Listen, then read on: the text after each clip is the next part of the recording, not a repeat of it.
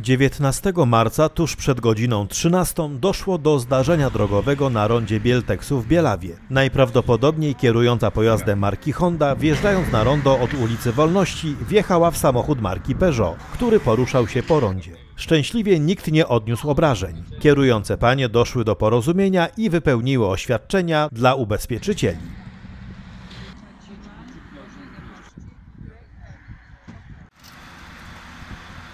yarabbim.